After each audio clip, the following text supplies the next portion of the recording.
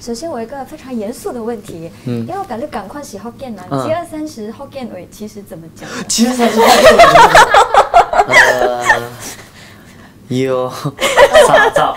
不对，要上到点这。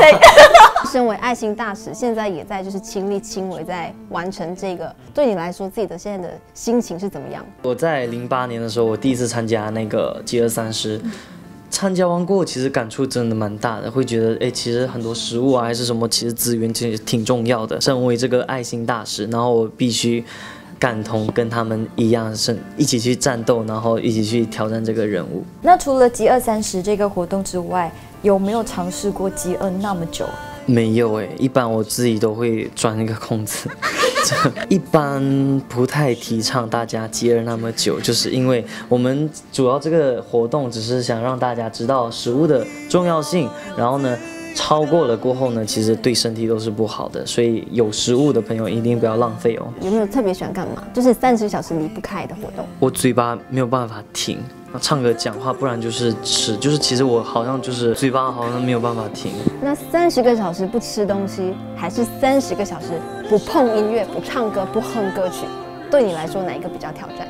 我觉得我最容易就是三十个小时内会不小心唱歌，因为你叫我不吃东西，好，那我就可以不吃。可是唱歌是有时无意间就突然嗯，那就就就出来了。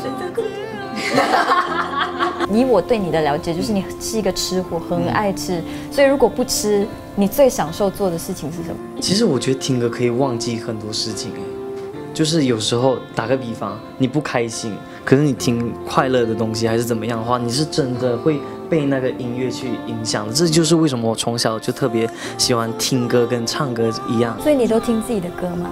我会，不是自恋，不是自恋，因为因为我我必须要就是一直听，就是还没有上线的那些 demo 去听，哎，可以加什么东西，还可以改什么东西，什么可以更好。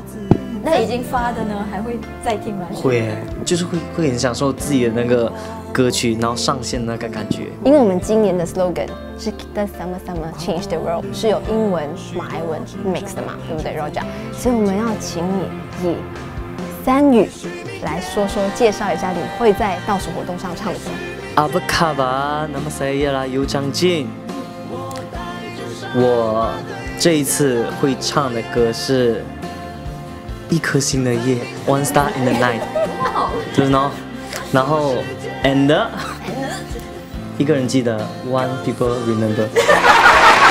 我特别喜欢一一颗星的夜这首歌，这首歌可以带给我很大的那种力量感。可能大家会觉得大家身在是黑夜中，可是不要担心，你们有一天会觉得这个黑夜是值得的。